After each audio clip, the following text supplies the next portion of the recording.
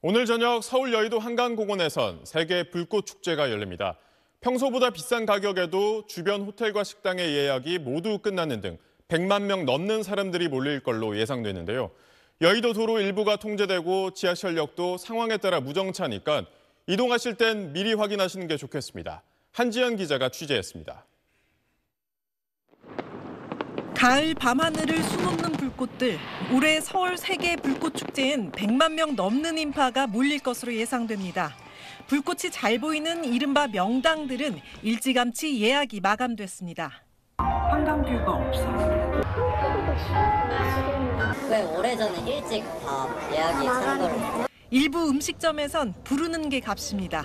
식사 가격이 비싸요. 우리가 30만 원. 원래는 얼마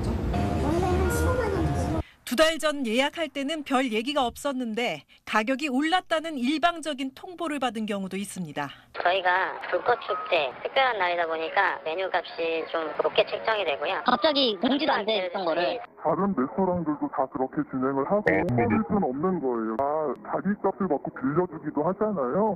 평소 600만 원인 한 고급 호텔 주말 스위트 객실 가격은 1000만 원대까지 치솟았습니다.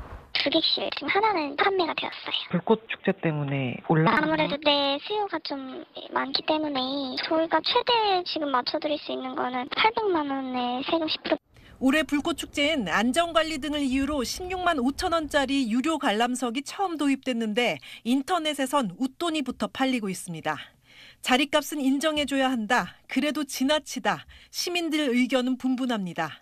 고객들이 알아서 보고 판단을 하는 건데 비싼데 그냥 안 가면 되는 그런 마인드라 너무 폭리를 취하니까 불편하고 얄미워 뭐 얄밉고 좀 아니 옳지 않다고 생각이 되니까 경찰 2,400여 명 외에도 서울시에서 안전관리 인력을 대거 투입할 계획입니다. 오늘 오후 여의도 일부 도로가 통제되고 5호선 여의나루역은 혼잡 상황에 따라 무정차 통과됩니다. SBS 한지연입니다.